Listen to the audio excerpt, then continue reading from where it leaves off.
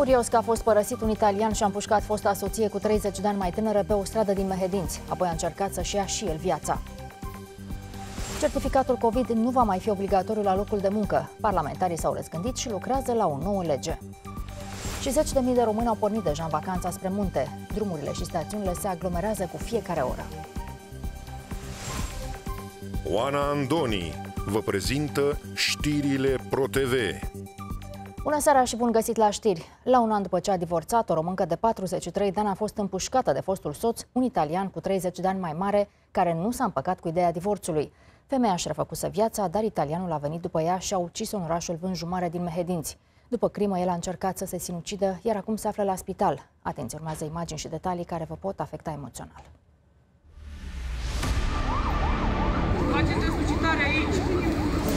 Martorii care se aflau pe stradă au auzit mai multe împușcături. Claudio Mereu, italianul de 73 de ani din Sardinia, care a venit în România să se răzbune, fusese căsătorit cu Loredana 4 ani. S-au despărțit anul trecut și de atunci bărbatul o amenințase în continuu. Acum și-a pus planul în aplicare. A intrat în magazinul de pompe funebre pe care Loredana îl avea cu actualul iubit și a început să tragă. Femeia a ieșit pe stradă strigând după ajutor, însă italianul a fugit după ea și a ucis-o. Apoi a încercat să-și ia viața cu mai multe focuri de armă. Individul i-a amenințat și pe martori cu arma, un pistol Beretta, spunându-le să stea deoparte. Acest bărbat a fost la un pas să fie următoarea victimă. O zi o femeie că ieși de acolo, cam așa, cam împletit imediat pe mine, din factorul. Era aici, era. Și se învârtea cu pistolul în mână, de vreo câteva ori. Deci s-a făcut geaca aici și băgă pistolul și se aici un foc ca el. Nu mă trage, zis eu. Păi să se magazin trasă prima dată. Și au luat la pogăș. Aici au ajuns și mai trasă și pe vă puse pistolul în, în omul ăla. Pe mă, el băgă mâna în buzunar și trase câteva focuri, dar nu, nu nimeri inima, nu... La scurt timp și atacatorul s-a prăbușit lângă victimă. A fost preluat de medicii de la ambulanță în stare critică. Între timp, o altă echipă o resuscita pe femeie.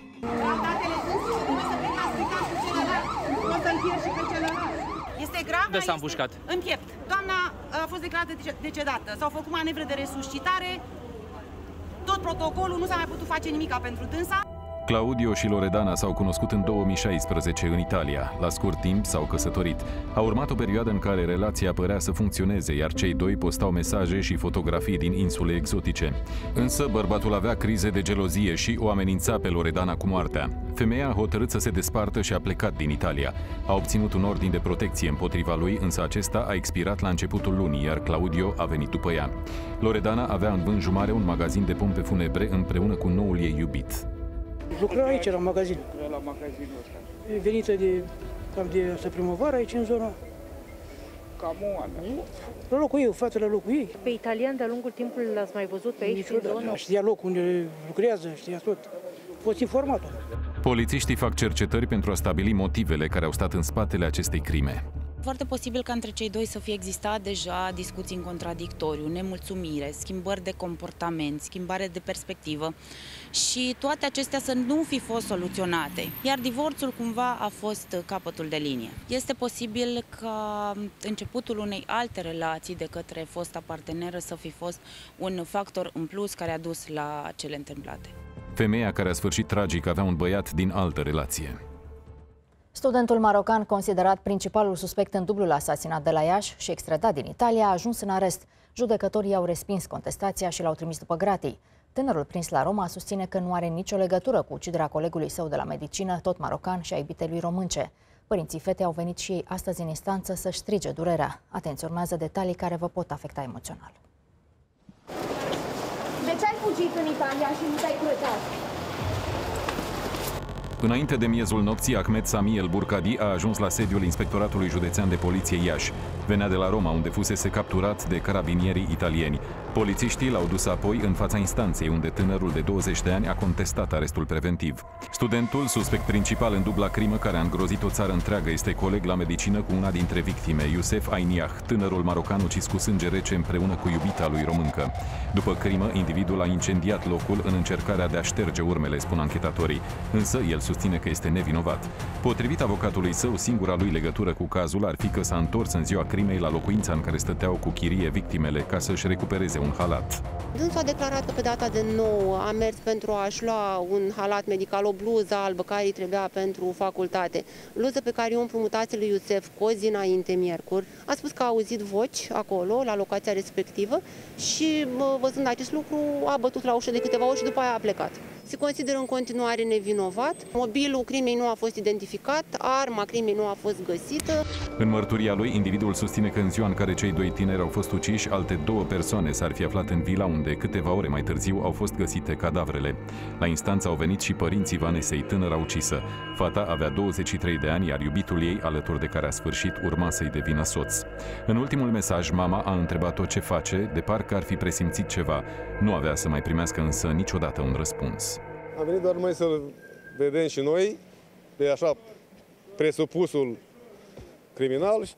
Și-ar putea să simtă un părinte care și-a mormântat uh, singurul copil pe care îl avea.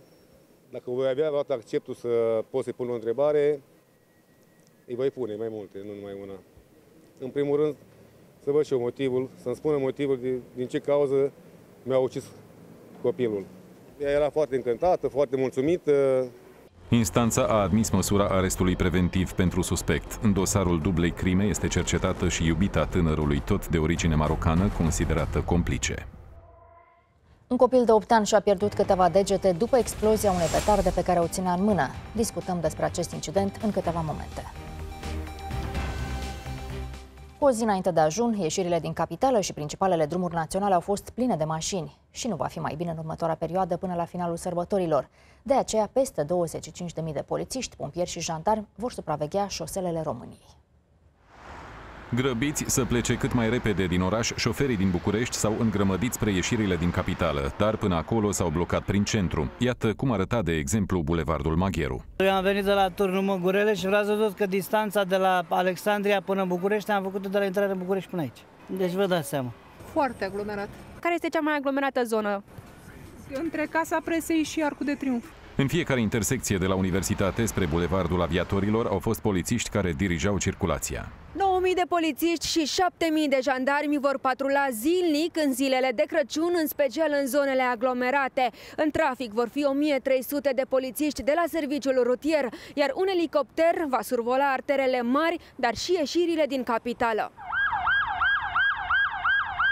Pentru descurajarea conducătorilor auto care vor fi tentați să încalce regulile de viteză, echipajele de poliție rutieră vor acționa zilnic cu 280 de aparate radar. În stațiunile de pe Valea Prahovei și la Brașov sunt așteptați la finalul acestei săptămâni peste 20.000 de turiști, majoritatea din București. De la Nistorești până la Comarnic s-a circulat foarte greu. S-au format coloane și între stațiuni, chiar dacă vacanța nici n-a început bine. CFR a avut 18 trenuri de la București la Brașov, cu capacitatea de 4.000 de călători. Dar, în ciuda traficului aglomerat, oamenii preferă mașinile. Din trenul care face doar o oră și 40 de minute până la Predeal, au coborât în această după-amiază 20 de persoane. Cum a fost călătoria cu trenul? Ok, mai ușor decât pe DN, în da, așteptare? Da. Dacă plecați cu trenul, fiți foarte prudenți, pentru că aici pot acționa hoții de buzunare sau de bagaje, astfel că recomandarea Poliției Române este să nu vă lăsați bagajele nesupravegheate. Cum se circulă la această oră la ieșirea din București pe DN1, ne spune colegul meu Cătălin Radu Tănase. Bună seara, Cătălin! Bună seara, Oana! Bună seara, doamnelor și domnilor! Copiii sunt oficial în vacanță. Mâine este vineri și este și ajunul Crăciunului, așa că sărbătorile de iarnă pot să înceapă cu bucurie și pace pentru toată lumea. Este foarte adevărat că aici, în capitală, nu e deloc zăpadă, numai că la munte este. Românii știu asta și cei mai norocoși vor să se bucure de o gură de aer proaspăt și de zăpada de pe pârtii sau din stațiuni. Și așa se face că în ultima oră, traficul pe drumul național 1 a început să se aglomereze. Și vă dau doar două exemple. Sunt aglomerări mari de autovehicule pe centura de vest a Ploieștiului până înspre Câmpina. Sunt multe sensuri giratorii acolo și sunt coloane deja de mașini de câțiva kilometri pe sensul spre Brașov, evident. Și ca de obicei se circulă iar bară la bară în stațiunile de pe Valea Prahovei, Poiana Țapului, Azuga, Bușteni, până la intrarea Sarea în Predeal, deci în județul Brașov. Surpriza este însă că în această seară la Comarnic, acolo unde se formau mereu ambuteaje, se poate circula fără probleme, ne spun cei de la Poliția Rutieră. Așa că dacă tot vă puneți la drum, astăzi sau poate mâine cei întârziați, aveți grijă la un singur lucru. Am făcut un calcul simplu și ar însemna că poliția scoate în fiecare județ cam șapte radare, suficiente ca să le strice vacanța celor care se grăbesc prea tare. Altfel, cu puțină grijă, cu puțină răbdare, pot, pot să înceapă sărbătorile de iarnă și să ne bucurăm de ele așa cum trebuie, chiar dacă pentru câțiva kilometri cei care au plecat în seara asta sau pleacă cel mai târziu mâine, or să stea și o să aștepte un pic cu țoana. Cătălin, mulțumesc! Cum deja se poate ghici din traficul tot mai aglomerat, mulți turiști au pornit deja în vacanță. Moș Crăciun l-a făcut și un dar în avans pe Valea Prahovei. A adus ninsor și frig, așa că administratorii pârtilor au putut pregăti un strat de zăpadă bine bătătorit. La cota 2000 din Sinaia, schiorii au la dispoziție 5 pârtii noi pentru care a fost instalat încă un teleschi. De mâine se va schia și în Poiana Brașov. În recepțiile hotelurilor, turiștii au fost primiți cu mici daruri de sezon. We have a cookies, apple with nuts, and cakes, and Winfried and cherry fructe. A început, uh, cântă muzica, uh, clienții sunt bucuroși, cum vedeți sunt deja la mese, uh, mâncare pregătită. Planurile mele de sărbători sunt legate de muzică, voie bună și să împărtășim tuturor bunătatea sufletească. Printre cei care își vor petrece Crăciunul în Poiana Brașov se numără și Charlie Otley, realizatorul filmelor documentare Wild Carpathia și Flavors of Romania. Fascinat de peisajul de iarnă de la noi și-a pregătit schiurile. Right now it's gorgeous skiing, there's amazing powder, so I'm looking forward to the next few days to, to get up there and to you know, do some serious skiing. De mâine, turiștii pot schia în partea superioară a masivului Postăvaru. Astăzi, pe munte a fost frig, în ciuda soarelui strălucitor. Peisajul este spectaculos. Îți taie de-a dreptul răsuflarea brazii, sunt încărcați cu zăpadă, ceea ce face ca fotografiile de la munte să fie unele memorabile. Și pârtile pentru începători sunt gata să își primească oaspeții. Stratul de zăpadă are undeva peste 50 de centimetri grosime. Primii turiști ajunși în Poiana Brașov nici n-au mai așteptat și s-au oprit direct la Săniuș. Să ne distrăm! Ne dăm cu sania și ne distrăm. Vrem să bem un vin fiert? Super, nu mă așteptam să găsesc atâta zăpadă. Spre zăpadă s-au îndreptat și cei sosiți la Sinaia, care n-au ținut seamă că sus erau minus 20 de grade Celsius și s-au așezat la coadă la telegondolă grăbiți să testeze pârtiile. Foarte aglomerat. Am stat jumătate de oră jos ca să urc înapoi aici. Două, două minute drumul până jos și după aia jumătate de oră până apoi sus. Foarte frig, bate vântul. Nu am nici cea mai bună îmbrăcăminte pentru schi. De mâine schiorii se pot aventura pe versantul către Piatra Arsă, unde a fost instalat un teleschi nou. Deschide o zonă nouă schiabilă, are trei pârtii adiacente chiar sub el. Domeniul schiabil din Sinaia are acum 30 de kilometri de pârtie. Colega mea, Ana Barbu, este în direct de la Brașov. Bună seara, Ana!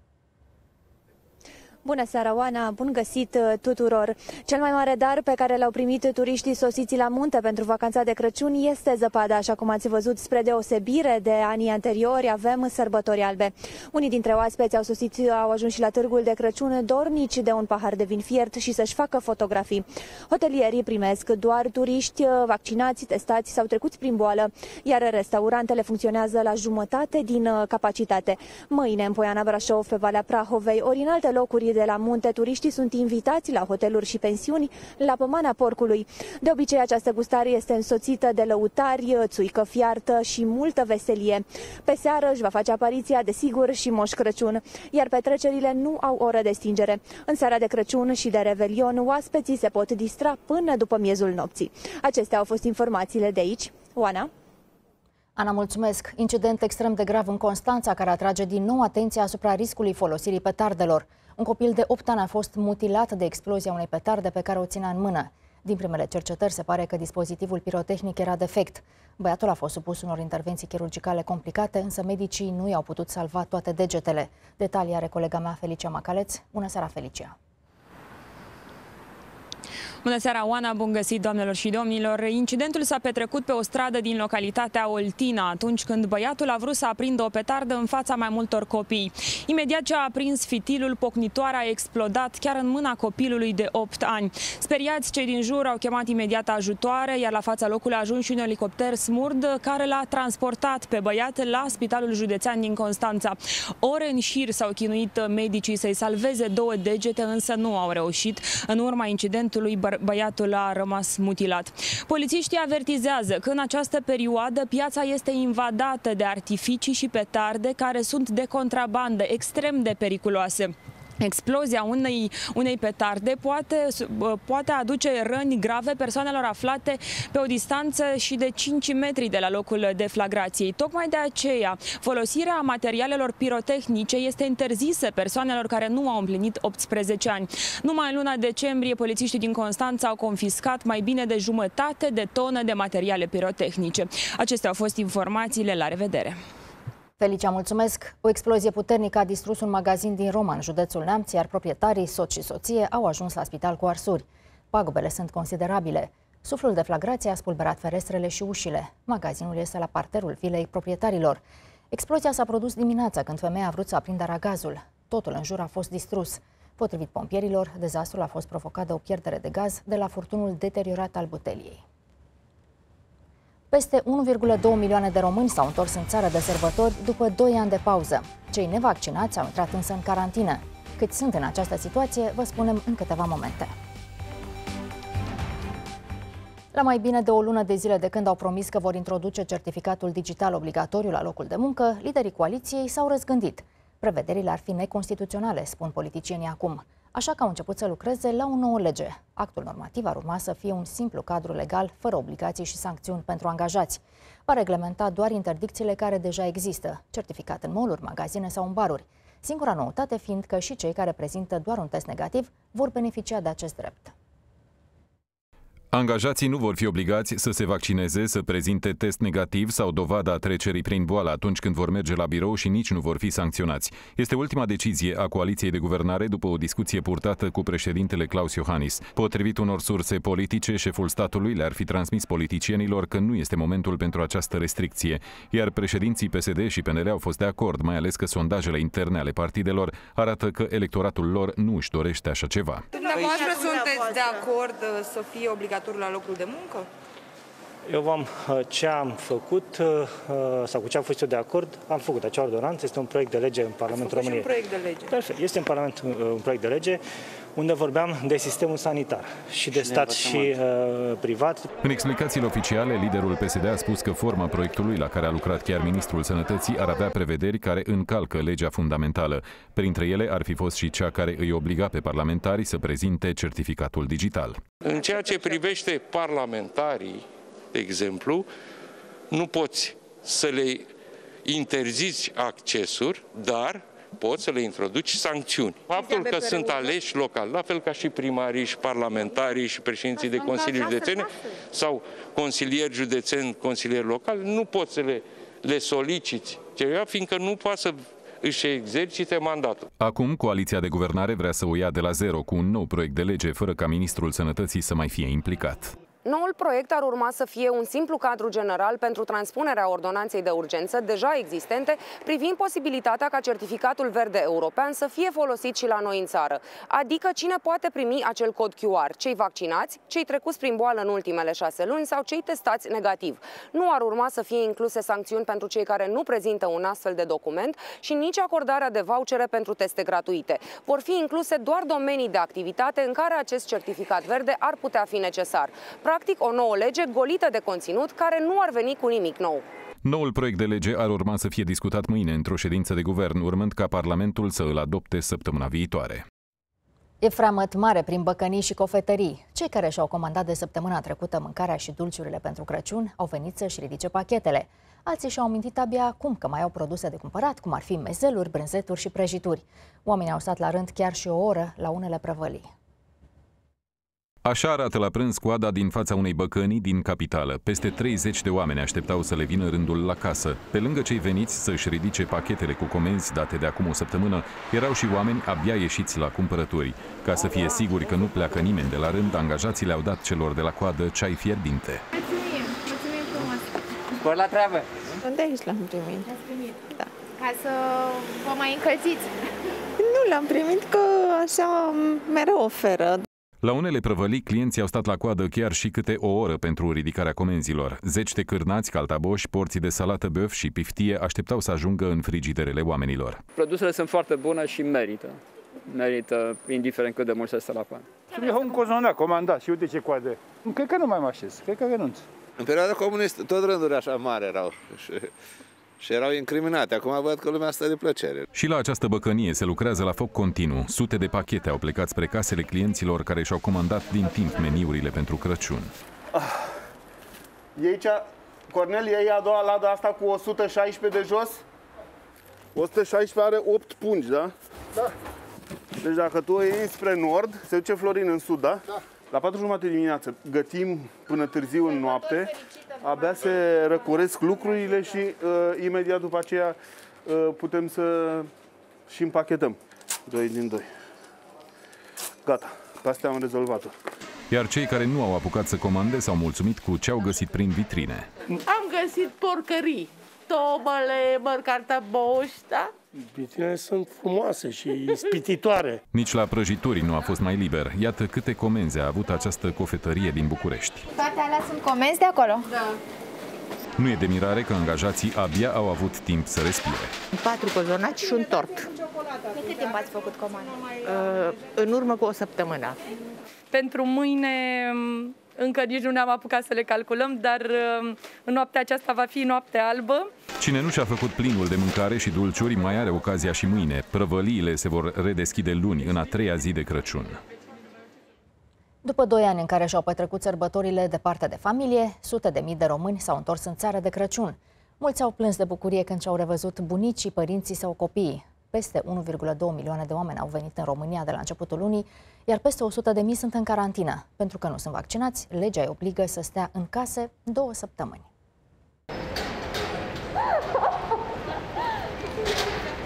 Mulți dintre românii care s-au întors acasă nu și-au mai petrecut sărbătorile cu familiile lor dinainte de pandemie. Ne dorea mult uh, un, be- un cadou frumos, o fetiță, o prințesă. De o îmbrățișare lungă a avut parte și această tânără care a venit din Londra acasă. A fost așteptată de mama ei, la fel de emoționată ca ea. Cât timp n-ați mai fost acasă? De Crăciun de vreo 3 ani, dinainte de COVID. Toată familia o așteptăm de mult. O bunică ce abia se ținea pe picioare de bucurie și emoție și a primit cu inima deschisă nepotul care va petrece acasă sărbătorile. Am venit cu testul, cu vac- vaccinul, e tot în Da. regulă. Petrecem sărbătorile împreună după trei ani de despărțire, da. De-abia mai stau în picioare. Va sta două săptămâni în țară, după care se va întoarce la Londra, unde muncește. I-am scris lui Moș Crăciun și a citit scrisoarea. Numai în ultimele 48 de ore, peste 30.000 de persoane au fost așteptate de cineva drag aici în aeroportul Otopeni din capitală. Însă, de la începutul lunii, peste 1,2 milioane de români și străini au intrat în România prin toate punctele de trecere a frontierei. Cel mai aglomerat a fost între 17 și 19 decembrie, când numărul persoanelor aflate la intrarea în țară s-a triplat. Pentru unii, sărbătorile vor arăta altfel, dar măcar sunt acasă. Autoritățile au anunțat că din data de 19 decembrie, 32.216 români au intrat în carantină, iar în total, în acest moment, sunt peste 100.000 în această situație. Aceste persoane ar trebui verificate de direcțiile de sănătate publică din fiecare județ, dar și de polițiști, dacă respectă măsurile de carantinare. De altfel, reprezentanții Poliției de Frontieră roagă oamenii să-și pregătească documentele înainte de a intra în țară pentru a nu se forma cozi. Recomandăm participanților la trafic ca acesta să fie completat anterior prezentării în punctul de trecere. S-a constatat că aproximativ 42% din persoanele care au intrat în România au completat formularul la momentul prezentării în punctul de trecere. De la începutul lunii, peste 900 de mii de persoane au ieșit din România în vacanță ori în vizită la rudele din străinătate. În această perioadă, când ne bucurăm de zile libere și de timp petrecut cu familia, sunt și zeci de mii de muncitori străini care vor lucra. Vin din țări îndepărtate, iar unii au aflat la noi ce înseamnă bucuria Crăciunului. Au descoperit și bunătățile pe care le pregătim și au fost încântați. Kul Gale este din Nepal și lucrează de patru ani într-un local din București. Kul este de religie hindusă, așa că de ajunul Crăciunului le va ține locul colegilor. Este căsătorit și are un copil, însă de când lucrează în România nu a ajuns niciodată la ei de sărbătorile lor. Just friend is party because I don't have here my prayer, my family, all is Nepal. Everybody is uh, maybe party, eating. I don't send the gift because it's long process. But I send the money and he take the gift maybe Patronul lanțului de restaurante la care lucrează Cool mai are încă 50 de muncitori care vin din afara Uniunii Europene. Toți vor lucra în ajun, iar de Crăciun vor avea zile libere, chiar dacă nu sărbătoresc cu noi. Da, angajații pe care avem și sunt de alte religii față de noi și care nu sărbătoresc Crăciunul, nu au sărbătoarea de Crăciun în această perioadă, ei nu au o problemă în a lucra în aceste zile. Ei vor avea aceleași bonusuri de care vor dispune și angajații noștri și, și aceleași zile libere de care, de care dispun angajații români. Faceți cunoștință cu Tilan. Are 30 de ani, este din Sri Lanka și de 2 ani lucrează la o clinică veterinară de la noi. Anul acesta va sărbători Crăciunul la muncă, alături de alți câțiva colegi de-ai săi. Usually I'm working on this Christmas. For me, no problem because uh, for the Christmas, the boss gave me a gift and he gave me a bonus with money. In my country also we do. Uh, on Christmas we uh, decorate everything and uh, we have Christmas trees and lights, like here, the same. Tilan este catolic, deși este departe de familie, anul acesta nu va fi singur de sărbători. Am uh, stabilit cu el și am înțeles că nu e nicio problemă să stea împreună de, în acest interval de sărbători cu toți medicii din clinică. Va sărbători după program, probabil că o să vină la mine acasă cu familia mea sâmbătă sau duminică, rămâne de văzut. Acești muncitori sunt tratați la fel ca românii, au prime de sărbători și zile libere. Merry Christmas and Crăciun fericiu. Fericiu. Pe lângă daruri și cumpărături, trebuie să stabilim și cu cine lăsăm câinele sau pisica dacă plecăm de acasă. Putem lua animalele de companie cu noi în vacanță dacă hotelul ne permite. Altfel, căutăm o pensiune pentru prietenii necuvântători sau ne rugăm apropiații care îi cunosc pe blănoși să aibă grijă de ei. Aici l-am îngâiat, aici așa, așa, bravo. Bravo, bravo, bravo, aici facem masaj la fetiță. Această pensiune pentru câini din afara Bucureștiului a oprit rezervările pentru sărbători încă din luna noiembrie, atunci când s-au ocupat toate locurile. Cazarea se face la comun, uh, este un pic diferit față de un uh, hotel de animale clasic.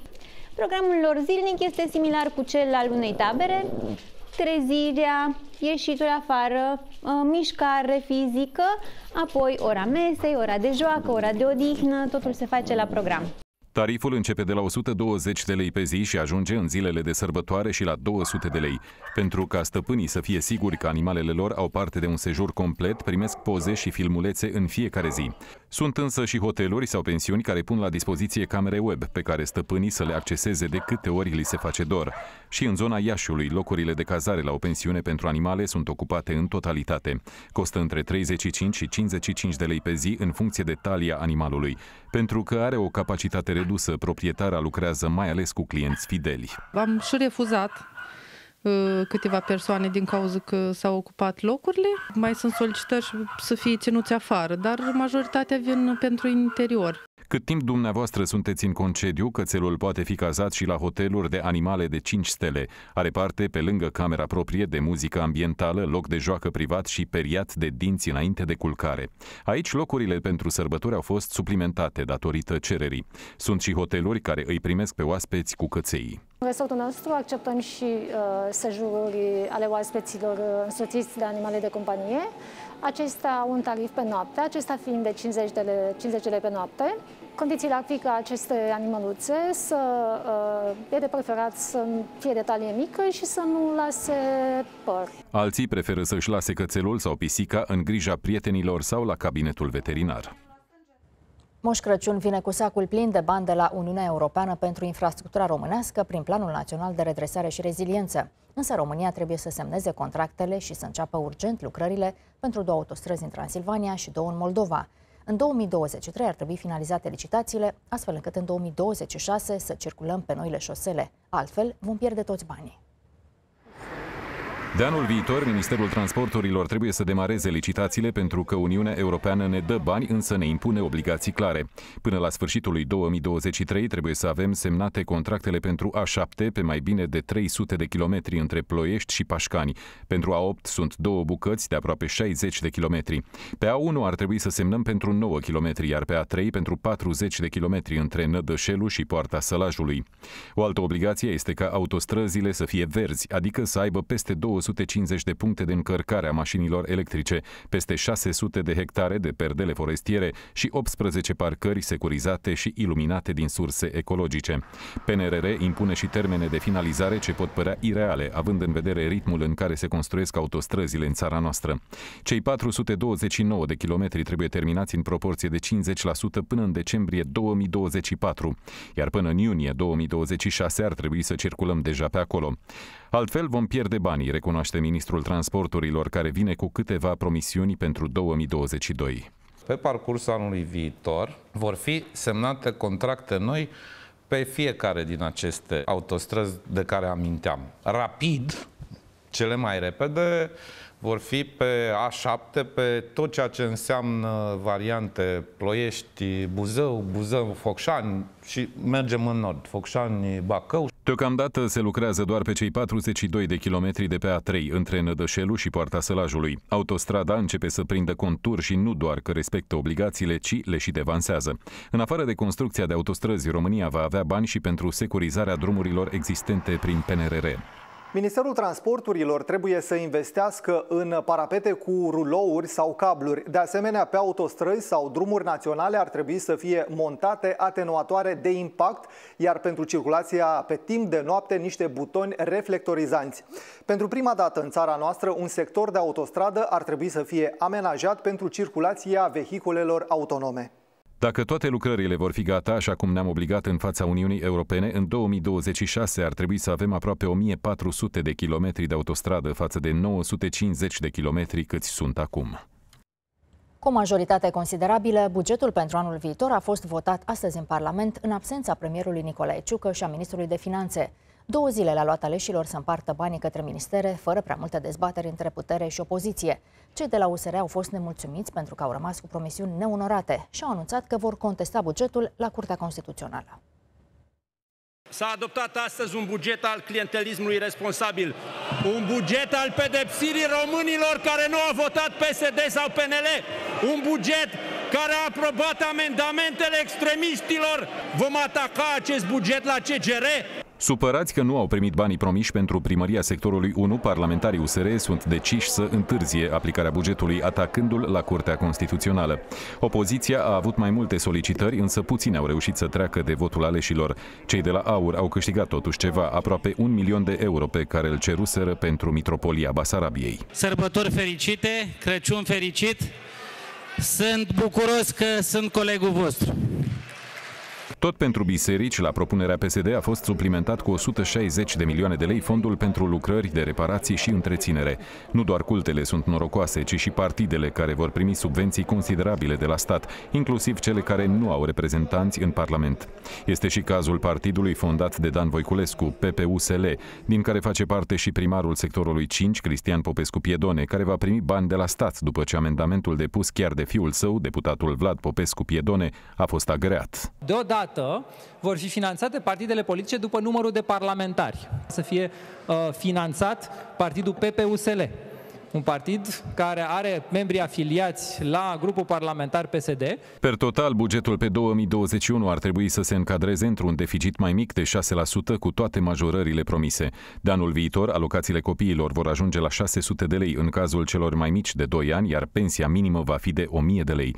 De altfel, toți pensionarii vor primi bani în plus. Pentru a găsi resurse pentru aceste promisiuni, oficialii au decis să înghețe pensiile speciale și salariile bugetarilor, cu excepția celor din sănătate și educație inflație. Guvernul și-a propus ca anul viitor investițiile să ajungă la 7% din PIB. Pentru ca bugetul de stat să intre în vigoare, legea adoptată trebuie promulgată de președintele Claus Iohannis. Sesizarea USR la Curtea Constituțională ar putea întârzia însă procedura.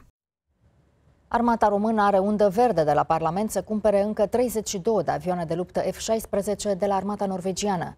Sunt aeronave vechi de 40 de ani pe care forțele aeriene regale norvegiene le înlocuiesc.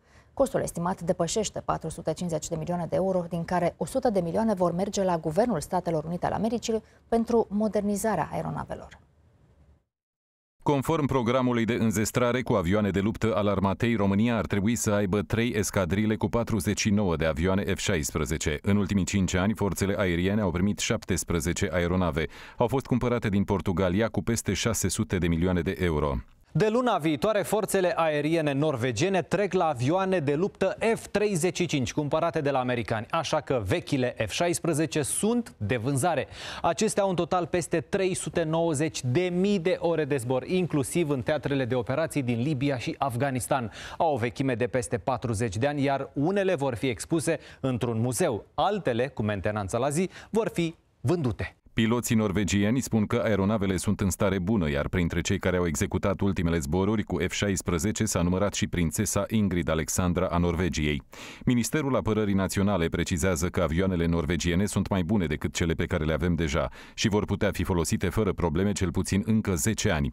Mentenanța și modernizarea avioanelor F-16 se va face la Aerostar Bacău. Pe lângă avioanele F-16, spațiul aerian al României este păzit și cu bătrânele miguri, peste 100 dintre ele fiind modernizate. Câte sunt funcționale, din câte aveam în urmă cu mai bine de 40 de ani, este strict secret. Însă, surse militare spun că ar mai fi doar 23.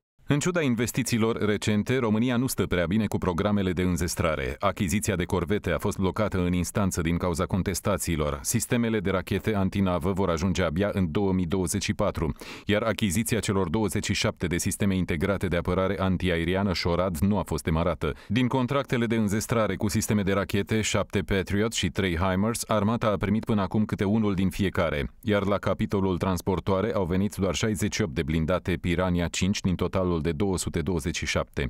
După Polonia, România este a doua forță militară pe flancul estic al NATO, zona fiind expusă la o eventuală agresiune a Rusiei, spun analiștii militari. Potrivit Institutului Internațional de Studii Strategice, Rusia are de trei ori mai multe echipamente terestre și de patru ori mai multe nave și aeronave decât cei nouă aliați NATO din zonă la un loc. Rusia ar prefera să nu aibă un conflict cu Ucraina, a spus președintele Putin la tradiționala conferință de presă pe care a ținut-o în fața sute de jurnaliști din țară și din străinătate. Dar a ținut să facă și o precizare. Viitoarele acțiuni ale Rusiei vor depinde de asigurarea propriei securități, fără condiții, iar Occidentul trebuie să ofere garanții în acest sens acum. So, will you guarantee unconditionally that you will not invade Ukraine or any other sovereign country? Or does that depend on how negotiations go? Не от хода переговоров, а от безусловного обеспечения безопасности России сегодня и на историческую перспективу. В этой связи мы ясно и четко дали понять, что дальнейшее движение НАТО на восток неприемлемо. Но чего здесь непонятного? Мы что ли ставим ракеты рядом с границами Соединенных Штатов? Нет. Это же Соединенные Штаты своими ракетами пришли к нашему дому. На пороге нашего дома находятся уже. Ну разве это какая-то... И теперь уже, пожалуйста, в Румынии, сейчас в Польше появляются соответствующие системы. Вот о чем речь. Ну поймите же вы в кон... от меня каких-то гарантий. Вы должны дать гарантии. Вы. И немедленно. Сейчас. Președintele rus s-a înfierbântat la întrebările puse de jurnalista de la Sky News. Totuși, după această tiradă, a adoptat un ton mai împăciuitor. В этой связи хотел бы подчеркнуть, что в целом мы видим пока положительную реакцию. Значит, и американские партнеры нам говорят о том, что они готовы к началу этой дискуссии, этих переговоров в самом начале года в Женеве. Potrivit Kievului și capitalelor occidentale, Rusia a masat peste 100 de mii de soldați la granița Ucrainei și numai departe de zilele trecute, liderul de la Kremlin amenința cu măsuri de răspuns militaro-tehnice adecvate dacă va continua ceea ce Putin numește linia agresivă a Occidentului. Pe de altă parte, vin totuși semne încurajatoare de pe frontul conflictului din estul Ucrainei cu separatiștii proruși. Rusia și Ucraina au căzut de acord să reinstituie un acord de încetare a focului din 2020 mediat de Organizația pentru securitate și cooperare în Europa. Ar trebui să avem sărbători pașnice, a reacționat un înalt oficial de la Kiev care speră ca armistițiul să fie un pas pe calea detenționării situației de la granița Ucrainei. Marea Britanie a trecut de 100.000 de cazuri de infectare cu COVID, un record absolut de la începutul pandemiei. Germania a anunțat și primul deces din cauza Omicron. Noua tulpină își continuă răspândirea rapidă în Europa, antrenând noi restricții. Spania cere portarea obligatorie a măștii sanitare, inclusiv în exterior. Și în Grecia, masca este obligatorie în perioada sărbătorilor, la fel ca la Roma. Chiar dacă au apărut studii care arată că infecția cu Omicron pare mai puțin severă decât Delta, specialiștii îndeamnă la precauție. Un studiu în Anglia efectuat de cercetătorii de la Imperial College sugerează că riscul ca cei testați pozitiv cu Omicron să necesite spitalizare este cu 15-20% mai scăzut decât în cazul pacienților infectați cu tulpina anterioară Delta. În schimb, riscul de spitalizare este mai mare pentru cei nevaccinați. Un alt studiu al specialiștilor de la Universitatea Edinburgh sugerează că riscul de spitalizare a fost cu două treimi mai redus la infectările cu Omicron în comparație cu Delta. That's encouraging news uh, uh that that perhaps the uh, infection when you get it might be uh, less severe in, in terms of hospitalization. But of course, with this very, very rapid rise and increase in cases, then of course, uh, more cases means more pressure because if, if uh, e even though a smaller proportion might go, uh, get severe disease or go into hospital, that could still result in, in many cases Între timp, Agenția Americană pentru Medicamente a autorizat de urgență primul medicament anticovid de la Pfizer, antiviralul denumit Paxlovid. Acesta este și primul tratament pe cale orală care se poate administra de acasă pacienților cu risc crescut care au vârsta de peste 12 ani. Pastila, care se eliberează doar pe bază de prescripție, poate fi luată pentru formele ușoare și medii de boală, care pot evolua în forme grave. Potrivit Pfizer, rezultatele testelor clinice au fost cât se poate de încurajatoare. Folks who took uh, Paxlovid uh, early, within three days of symptom onset, had a 90% reduction in hospitalization or death compared to those that took placebo. So this is a very, very, very potent uh, agent. Ca să fie eficient însă, medicamentul trebuie administrat pacienților în primele 5 zile de la apariția simptomelor. Paxlovid a obținut autorizarea pentru folosire de urgență și în Uniunea Europeană, la fel ca un medicament similar dezvoltat de grupul farmaceutic american Merck. Acesta, din urmă, încă așteaptă undă verde pentru administrare în Statele Unite. Între timp, în China, un oraș cu 13 milioane de locuitori a intrat în lockdown după ce acolo au fost descoperite 143 de cazuri de infectare în ultimele două săptămâni. Localnicilor li se cere să stea acasă. O singură persoană dintr-o gospodărie are voie să iasă din casă odată la două zile pentru a cumpăra alimente. Procurorul districtual din Colorado a cerut instanței să reconsideră o sentință extrem de dură, 110 ani de închisoare dată unui șofer de camion condamnat pentru că a provocat un accident în care au murit patru oameni. În aprilie 2019, conducătorul auto în vârstă de 26 de ani a intrat cu tirul în mai multe mașini blocate în trafic care au luat foc. El a susținut că rămăsese fără frâne, însă procurorii au demonstrat că a făcut o serie de greșeli care au dus la producerea accidentului. Șoferul a fost găsit vinovat pentru 27 de capete de acuzare, iar pedepsele cumulate primite înseamnă de fapt închisoare pe viață. Totuși, chiar și procurorii consideră că e prea mult. Există și o petiție online în care mai bine de 5 milioane de semnatari cer reducerea pedepsei. Numeroși spanioli sărbătoresc câștigurile la binecunoscuta loterie de Crăciun El Gordo, care a împărțit premii totale de 2,4 miliarde de euro. Euro 86.148 4 milioane de euro 86.148 4 milioane de euro Numerele câștigători au fost cântate, așa cum e tradiția, de elevi de la o școală din Madrid – Numărul câștigător a adus premii totale de 4 milioane de euro. Numai că numerele de 5 cifre jucate la loteria El Gordo, grăsanul în română, sunt divizate în serii mai mici. Până la 1600 de bilete cu același număr pot fi vândute în diferite locuri din toată țara. Astfel este imposibil ca o singură persoană să le cumpere pe toate. Ba mai mult, diferite serii cu numerele loteriei sunt cumpărate în comun de mai multe persoane ca să-și sporească astfel șansele. Prin urmare, Loteria Spaniolă de Crăciun nu aduce premii spectaculoase ca valoare, ci câștiguri numeroase, unele putând ajunge la câteva zeci de mii de euro. Animalele de la grădina zoologică din Berlin au primit tratații speciale de sărbători. Maimuțele au scotocit prin ciorăpei unde se primesc de obicei darurile de Crăciun până au găsit ceva bun. Acestea sunt maimuțe veveriță, o specie originară din zonele tropicale ale Americii de Sud. Mamele își țineau în spate adorabilii bebeluși. Patru pui s-au născut recent, spun îngrijitorii de la zoo.